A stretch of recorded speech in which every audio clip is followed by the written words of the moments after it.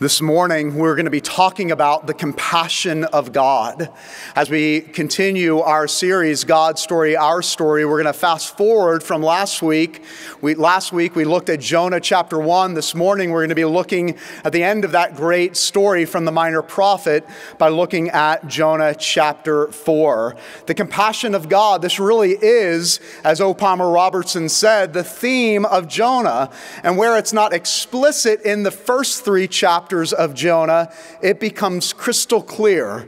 Like any good story leading up to the grand finale or to the end, we see in Jonah chapter 4 this rich theme of the compassion of God. My good friend, Dr. Sam Lamerson, reminded me last week that as we sit in the Coral Ridge Sanctuary, we are in the belly of the fish, since the sanctuary has been designed and built in the shape of a fish if you look up to the ceiling. Jonah is the only prophet, as we established last week, to be sent, surprisingly, to the Gentiles. Jonah is not the prophet that's sent to the people of God, but Jonah is sent out from the people of God, from the northern kingdom of Israel, out to the Gentile city of Nineveh. Nineveh was the largest city for the Assyrian Empire. The Assyrians happened to be at the time of Jonah's calling the arch enemy of the Israelites. So, no wonder why Jonah struggled and resisted as he did with this message and with his calling to go and preach the gospel of God to the Ninevites quick recap in between where we were last week and where we are this morning. Eventually, in Jonah chapter 1, we see Jonah running in the opposite direction. I heard the calling of God, but no thanks, God. I'm going to run in the opposite direction. He gets tossed overboard and he gets swallowed up by a great fish. Notice it doesn't say a great whale. We don't know if it was a whale or some mammoth sea creature, but we know it was a great large fish. He spends three days and three nights in the belly of this great fish. In Jonah chapter 2, he calls out and cries out in repentance to God. God relents and appoints the great fish to spit Jonah out onto the shore. In Jonah chapter 3, Jonah finally, begrudgingly, but finally goes to Nineveh, that great city, and preaches the message of repentance. And something remarkable happens revival breaks out. The whole city turns and repents to God. Even the king turns and repents and calls upon others in Nineveh to turn and repent. For the king of Nineveh says, maybe even this God will relent. And it comes to us a great surprise that what we expect from Jonah to be incredibly joyful and excited as what has happened to Nineveh, far from it. says that he is exceedingly angry. So, what can we learn from Jonah here and about the compassion of God from Jonah chapter 4, beginning in verse 1 through the end of the chapter? It says, But it displeased Jonah exceedingly. He was angry, and he prayed to the Lord and said, O Lord, is it not what I said when I was in my country? This is why I made haste to go to Tarshish, for I knew that you were a gracious God and merciful, slow to anger, abounding in steadfast love and relenting from disaster. Therefore, now, O Lord, please take my life from me, for it is better for me to die than to live. And the Lord said, Do you do well to be angry? Jonah went out of the city and sat to the east of the city and made a booth for himself there. He sat under it in the shade till he, till he should see what would become of the city. And now the Lord God appointed a plant and made it come up over Jonah, that it might be a shade over his head to save him from discomfort. So Jonah was exceedingly glad because of the plant.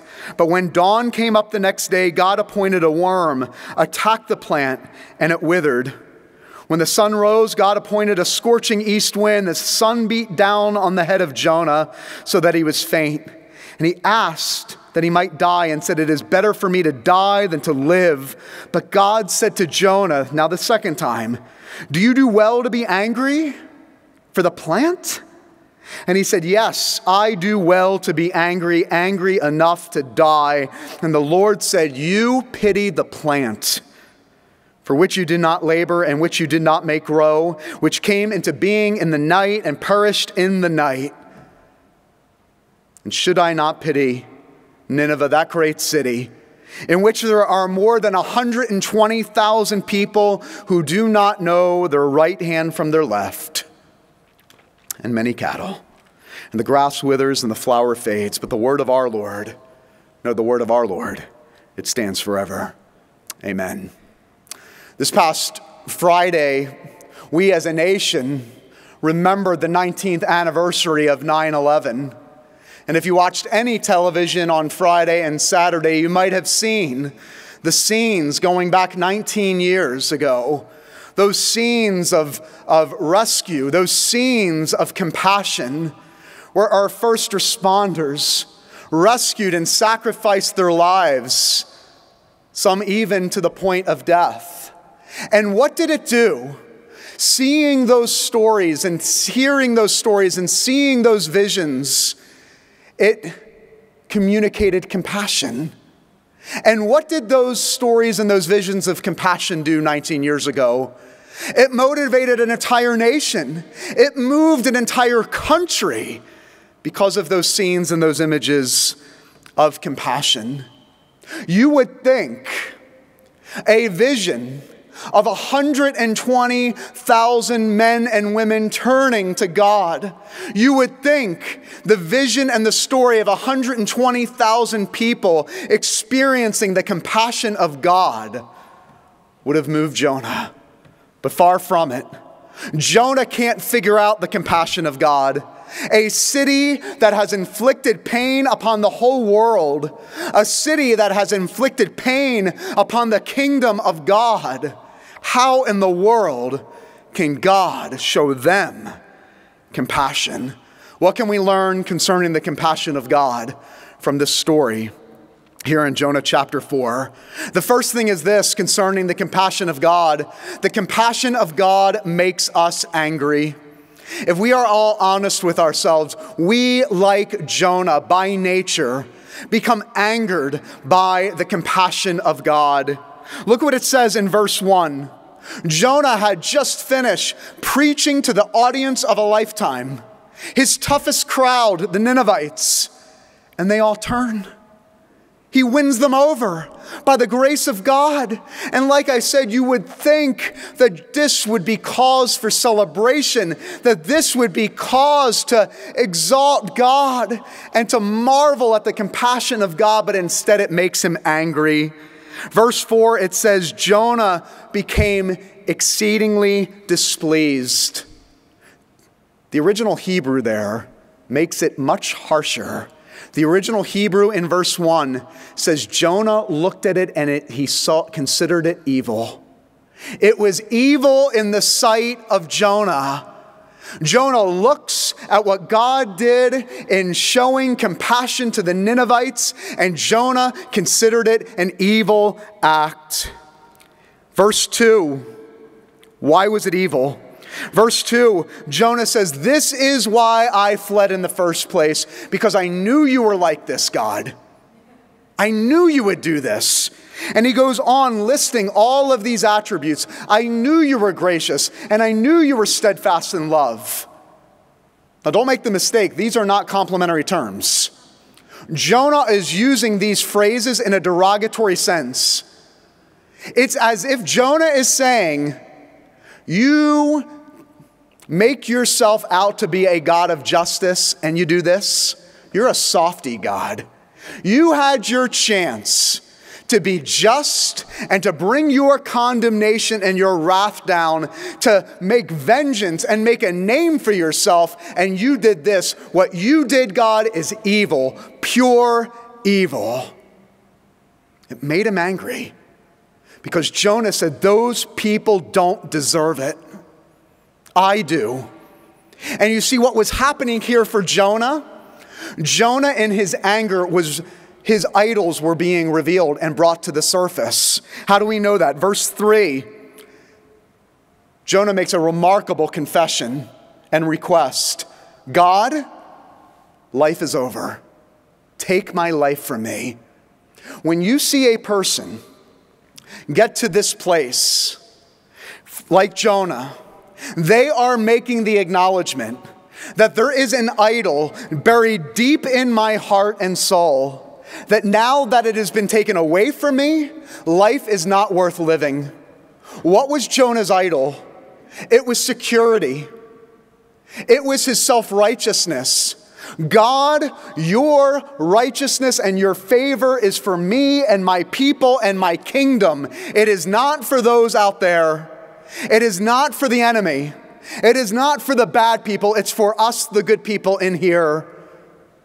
That was his idol an idol of self righteousness, the idol of security. What would happen to the nation and the kingdom of Israel if you start showing your pleasure not just towards us, but towards the, out, the outsiders, to the Gentiles? What would happen? And the idol of security and the idol of Jonah's self righteousness, that your mercy and compassion, God, is just reserved for me and my people. It was being revealed. And Jonah says, It makes me so angry that I don't even want to live anymore. And I love God's question to him in verse 4. He says, Do you do well to be angry? What is that? It's a weird phrase there. Do you do well to be angry? God is basically saying to Jonah, Is this really your response? Is this really a proper response? 120,000 people turn and receive God, and you're mad? And you want your life taken from you? He's saying, Jonah, is this really how somebody responds? Is this a proper response? And I want to ask you this morning do you do well? Do you do well to be angry? Because you and I know by nature in our heart of hearts, when we think of our enemy and we think of those that have wronged us, we want vengeance. We want God's condemnation to rain down. And God says to us this morning, Do you do well to be angry? Is that really the response in light of a world that is lost and that is broken? If we're honest with ourselves, God's compassion by nature makes us angry. But the second thing we learn in this passage is not only does God's compassion by nature make us angry, God's compassion here actually points us to a greater Jonah. Skip ahead to verses 10 and 11. In verses 10 and 11, God is calling Jonah out and says, You're worried about a plant. I'm worried about people who are lost and dying. And I have pity on them. The word pity there is synonymous with compassion. It literally means in the Hebrew for your heart to break, to break to the point of to the point of mourning and weeping. And God is saying, Jonah, where is your heart? Why is your heart not breaking? Why are you not weeping? God is saying, My heart breaks in pity and compassion for people that don't know their right hand from their left hand. The phrase right hand and left hand was an ancient phrase meaning people who are helpless. And God says, I look down to people who are helpless and I have pity. My heart breaks and it moves me to weep. Now, understand, this was unheard of up until this point a God, a deity whose heart breaks, a deity who has pity and compassion. It is what separates our worldview from every other worldview in the world. To have a God that has compassion on the finite, the infinite God of the heavens and the earth, who created the heavens and the earth, would actually condescend and have pity on finite creatures like you and me. Jonah had never heard it. And the world had never heard it up to that point, and the world has continued to never see it other than the God of the Old and New Testaments, a God whose heart breaks, but causes, but causes his people to break as well. And it's here once again that Jonah blows it a second time, that he fails to answer the call of God now a second time. Yes, he went to Nineveh, but he is sitting there burning in anger. And this great prophet that we read about, Jonah, when experiencing and witnessing the compassion of God, it is in his failure to embrace compassion that it actually points us to another prophet. You see, it is the life and the failures of Jonah over and over again that point you and me to another prophet. See, Jonah's life requires a prophet that will actually come and show compassion and show pity upon lost and broken people. You know, each week, there is one simple goal in this sermon series. It is to point us to that one story, that one story that God is weaving from Genesis to Revelation of God sending his son, Jesus Christ, to be the fulfillment of all things promised. And I know there's some Sundays where it seems like a stretch to connect the dots between what God is talking about in the Old Testament and the fulfillment of Christ in the New Testament, but this is a slam dunk. Matthew chapter 12 verses 39 and 41.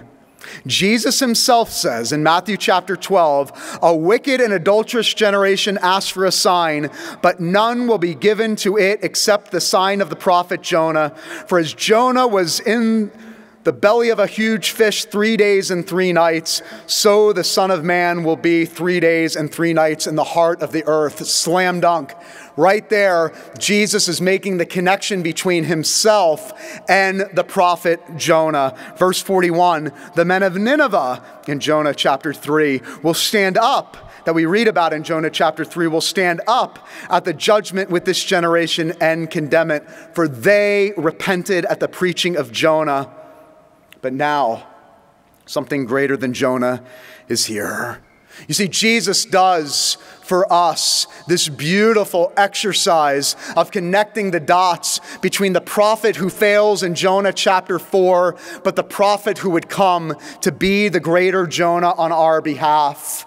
You see, Jonah preached a message of justice and wrath, but it would be Jesus, the greater Jonah, who would take the justice and wrath of God on our behalf. It would be Jonah who preached condemnation, but it would be Jesus, the greater Jonah, who would take that condemnation that we deserves, that we deserve. This is the good news of the greater Jonah, and it is the compassion witnessed in Jonah chapter 3 and Jonah chapter 4 that points us to our need for this greater Jonah.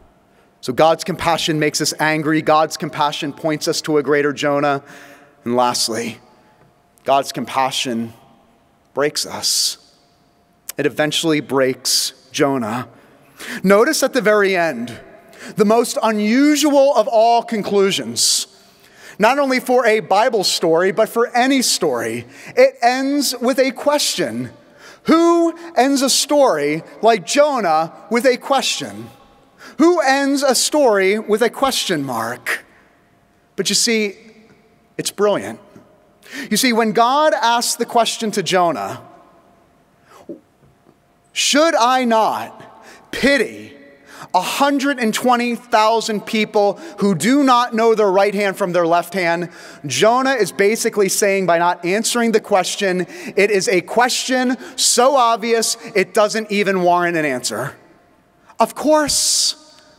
It's Jonah's way of saying, Do I really need to answer this question? It is so blatantly obvious, and the question is asked to you this morning and it shouldn't even need a response.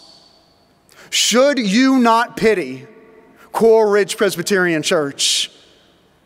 Hundreds of thousands of people who do not know their right hand from their left hand.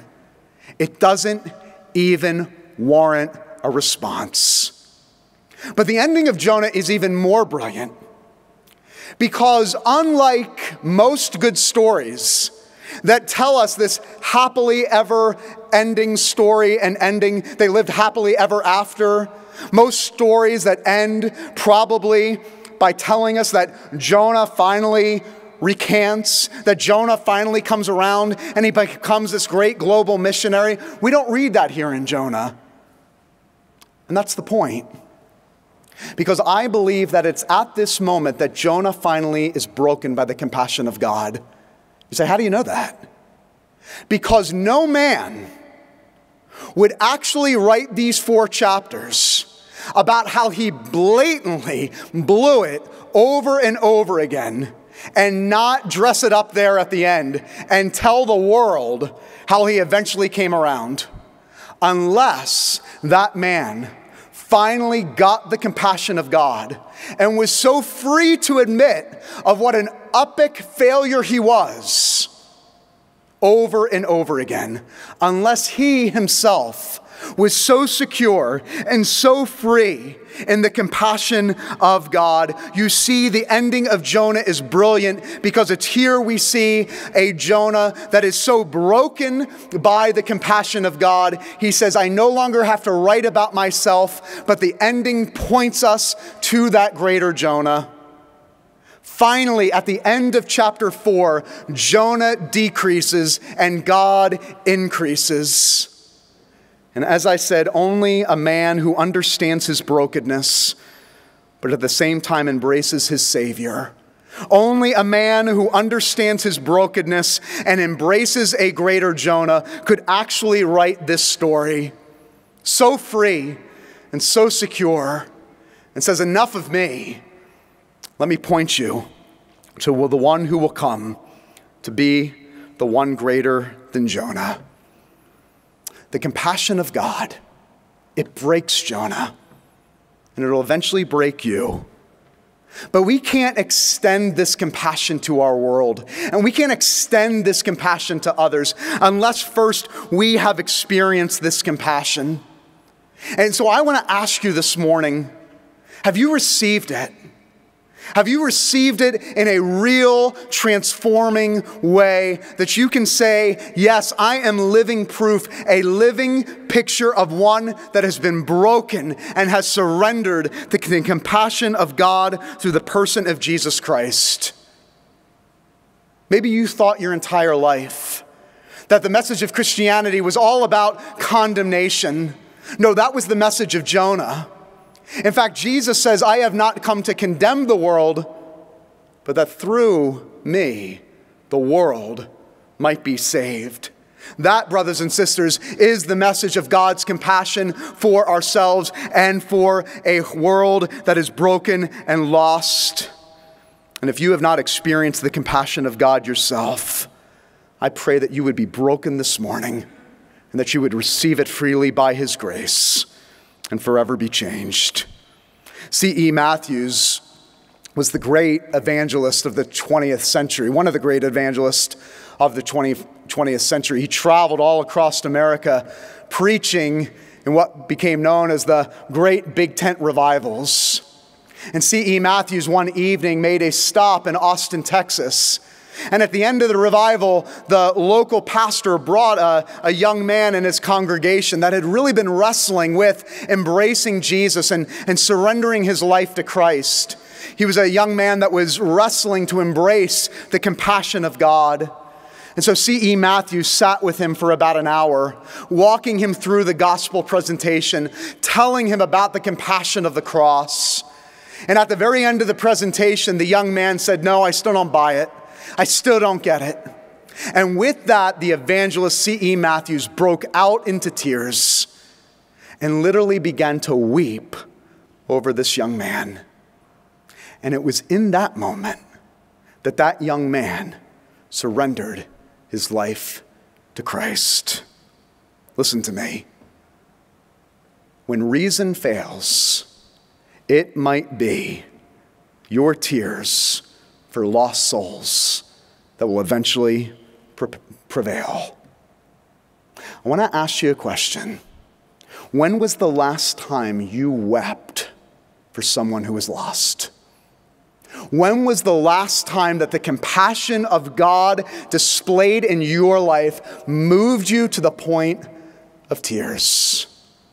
I gave you the one person challenge last week that between now and Christmas, we would choose one person to share the love of Christ with and to sacrificially serve. But listen to me if that one person means for you that you're going to win an argument or win a debate, you've missed it.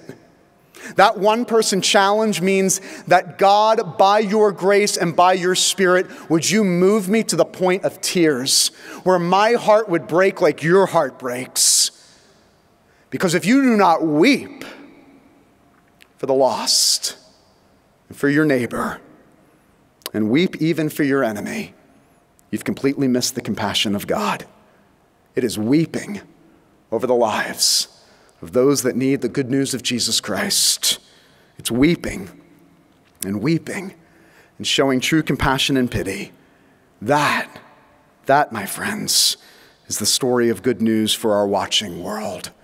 Great is thy faithfulness. God, you are never changing, and your compassions, they fail not. Listen to me.